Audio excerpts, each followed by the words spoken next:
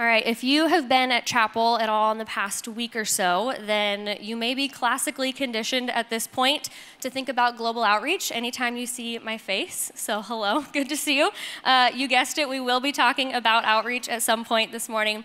Uh, but I'm excited to get to speak with you about how and why we love and serve people, whether that's locally or globally. All right, so I'm a big fa- fan of countdowns. Um, I'm very future oriented and always thinking about what's coming up or what I can look forward to. I love having trips or events planned, so I'm building anticipation for something always. So I have a few countdowns for us this morning that we can all maybe look forward to together. All right, our first one there's only 17 days until our mid semester break. Amen? Yes? I know. What a blessing that is this fall. All right, 64 days until Thanksgiving, which is a very underrated holiday, in my opinion. Only 80 more days until you last semester seniors graduate. That's insane. We have 96 days until Christmas. We're jumping 102 days until the first day of spring, which I need to look forward to because I need that warm weather once the holidays are over. 220 days until the rest of y'all seniors graduate in the spring. Wild, yes, give yourselves a round of applause for that one. And 235 days until our first global outreach team of the summer leaves. I told you it would come up. So I've had to recognize in myself that being too future oriented is not always a good thing for me. I can get busy and forget to reflect on the past or even be present in the current moment too. Because of that, it impacts how I worship and how I serve. So I was struck by something. There's an author and theologian, Robert E. Webber, who wrote a book called Ancient Future Worship. And in it, he makes the point that worship does God's story. So, worship meaning not just songs that we sing, but that could also be one format of it but that worship is both a remembrance of God's story and his redemptive work, and it's an anticipation of the future and God's vision for the world. I love that song that we sang earlier this morning, Same God. Uh, I didn't realize that they were singing that song until uh, a little bit after this, but it was just perfect timing. Uh, because it gives us that contrast of drawing on these stories of God's faithfulness in Scripture and calling on that same faithful God now right? We're standing on his faithfulness. So we remember that, we remember that faithfulness and that goodness, and we anticipate that he will continue to reveal and provide now and in the future. So if you were in chapel last Wednesday, then you got to hear from some awesome people about God's faithfulness on their global outreach trips from this past summer. So we want to celebrate that. We want to remember it. And now, because of seeing God's goodness and faithfulness over this past summer, we get to have this joyful anticipation for what God will do for this upcoming year. So, as I was taking time to actually reflect uh, on my own past experiences, I was thinking about my own times on global outreach trips while I was a student. And God was so sweet to remind me of so many of the ways that he was present and working in each one of those trips. My experience with outreach specifically has been primarily in Asia, so in Cambodia, China, and then several times to India as well. And the work I did in all of them was very different, but the goal was always to love and to serve people well. Whether that was through physically helping an organization with a project or loving on some kids or building relationships with people, sharing the good news of Jesus with them. The cultures that I got to experience were so different from the one that I grew up in, and my perspective of God and His kingdom widened on every single trip that I took. I've seen God heal people. I've seen him speak through people in a language that they did not think that they could speak, just so that they could pray with those who didn't understand English. I felt his presence while singing worship songs as everyone in the room sung a language that was different than my own, because it showed me how far and wide God's kingdom has already reached. I've seen seeds planted as we shared the gospel with people that had literally never heard of the name of Jesus before. And I felt his love through the hospitality of others as they joyfully welcomed me and opened up their homes. They offered me a meal, even though it cost them something. These ways in which God works all over the world are the things that I want to be intentional to remember and to praise Him for. And as I let my own anticipation build for how He's going to work through all of you next summer, uh, I want us all to learn to be really good at loving and serving people well. So I want us to explore now for a bit how He calls us to be different in how we love and serve people. It's not different from Him, but different from the world or what the world expects us or expects from us. So, our theme this year, we've talked about it a bit, is different based on Romans 12. And today I want to focus just on verses 9 through 13. So, I'm going to read them now, and then they should be uh, on the screens as well. Love must be sincere. Hate what is evil, cling to what is good. Be devoted to one another in love. Honor one another above yourselves. Never be lacking in zeal, but keep your spiritual fervor serving the Lord. Be joyful in hope, patient in affliction, faithful in prayer. Share with the Lord's people who are in need and practice hospitality.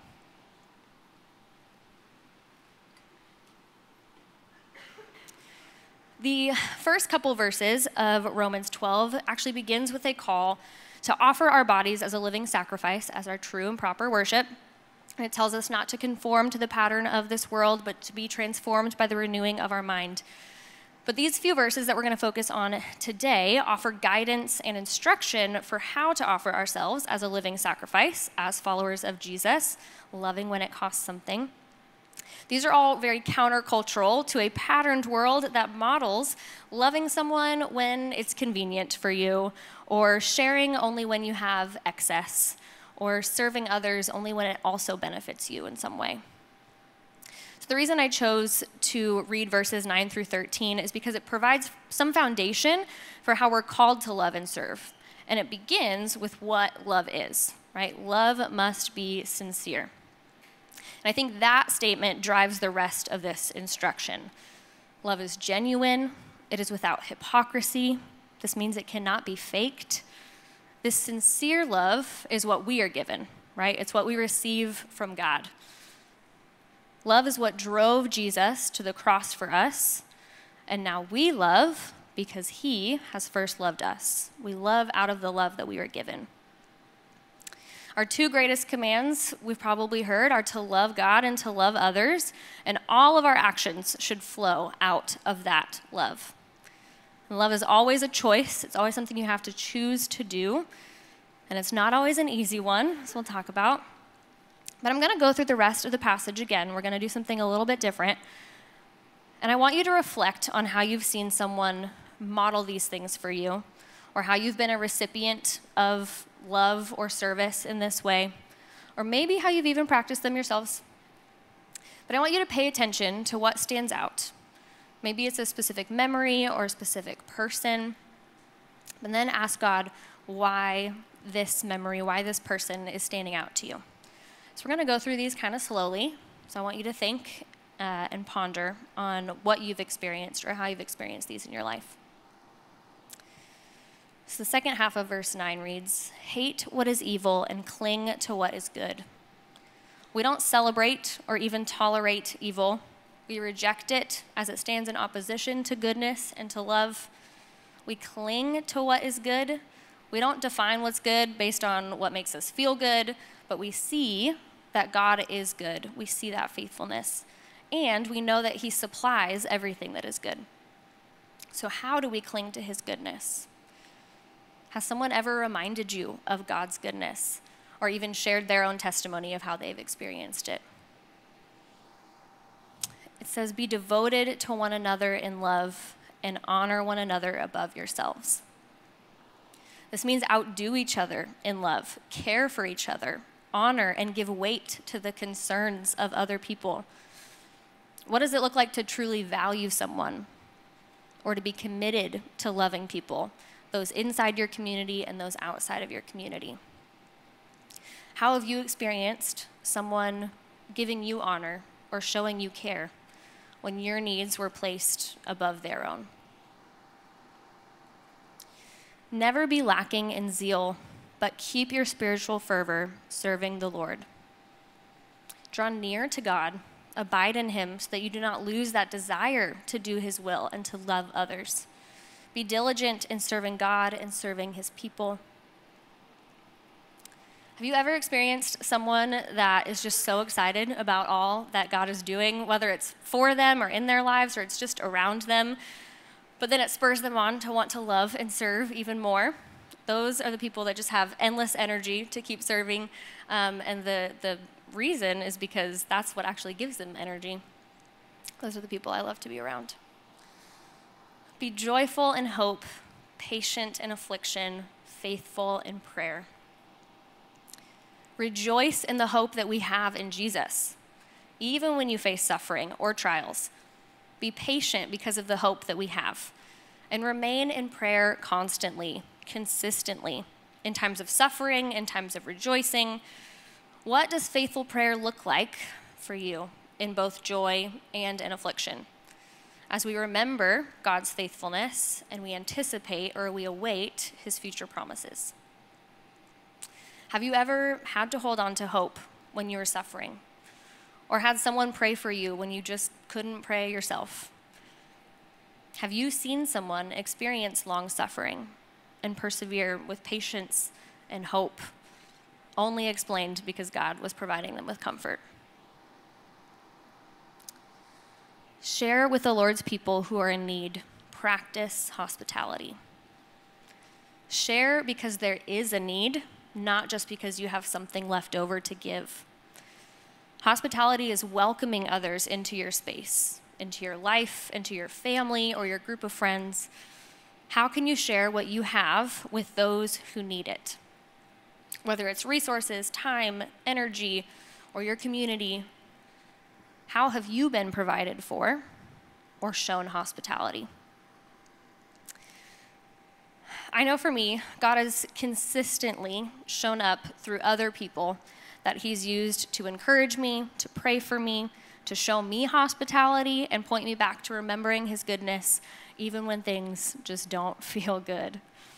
And a lot of this happened uh, while I was in college. I lived six hours away from family when I came to college, and I wasn't even 18 for the whole first year, so I was trying to figure it out all on my own.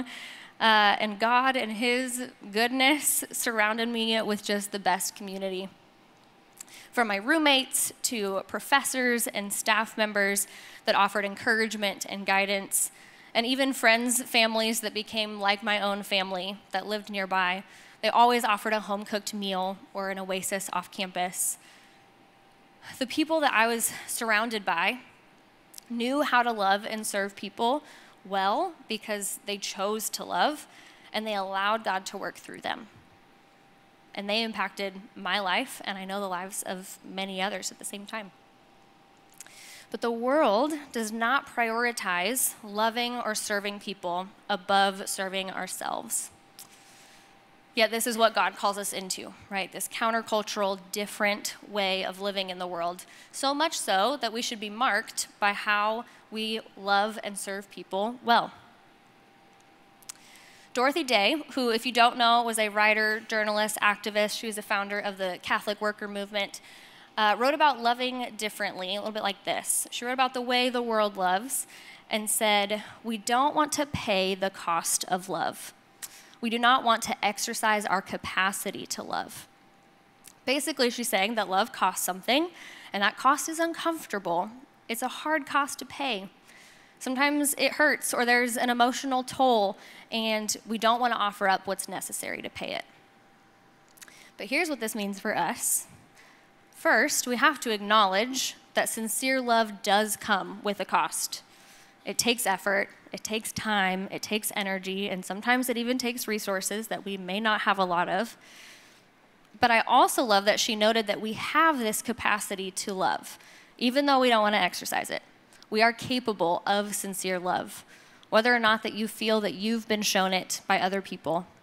Even if you are tired, even if you are burnt out or stretched thin, you still have capacity to love because of the love that's been given to you. Don't get me wrong, I'm not telling you to go throw out all of your personal boundaries and neglect yourself for the sake of loving others. If we ever meet on one, you know that I will encourage you to set those personal boundaries. But I think those right boundaries in place don't diminish your capacity to love, but they actually expand it.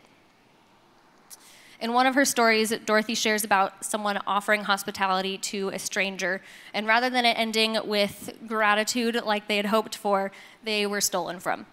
But she still said, We must love to the point of folly, because that's how our Lord loves us. His love and his sacrifice does not make sense when we think about how often we reject him or neglect to be thankful for what he's done for us and what he continues to do for us. And I think the way that we love people should be different from how the world expects us to love people. It shouldn't just make sense if it's actually costing us something. Jesus loved differently, and it didn't always make sense in his context either. A couple of weeks ago, we heard from Deb and PJ as they shared about the woman in the well uh, at, on, in John 4. Uh, that's one of my favorite passages in all of the Gospels because it shows how Jesus was willing to cross so many barriers in order to love this woman and to reveal himself to her as the Messiah. He crossed barriers of race and gender and social status that a Jewish male rabbi would have been expected to keep at the time. And in doing so, this woman's life was changed forever, right? And many of her own town even uh, had their lives changed as a result of her testimony and meeting and encountering Jesus. Jesus loved and served the people that were right in front of him, from his disciples and friends to his family and his neighbors. But he also traveled to places outside of his community, and he loved and he served them too.